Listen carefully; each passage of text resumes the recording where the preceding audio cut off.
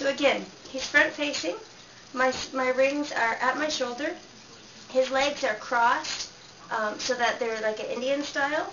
He is extremely happy. He has full head. Um, his head is, is fine. He's not going to go anywhere. The bottom of the sling is around my waist. The, the shoulder of the sling is at my shoulder on the ball.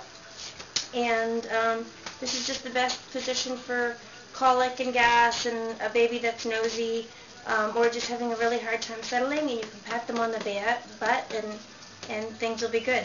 If in this position you need to nurse, you hold your baby, grab the ring that's exposed and pull it and then you go in and turn the baby the way you want them to be.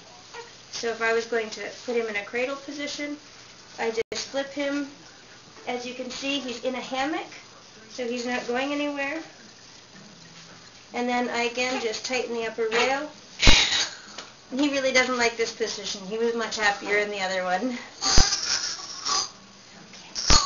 So to get him back into that position, I'm going to sit him up. He's sitting inside of my, on the back part of the sling.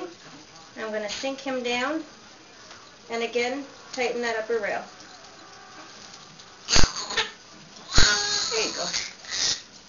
And once he realizes that he's nice and safe, he'll calm down. Honest.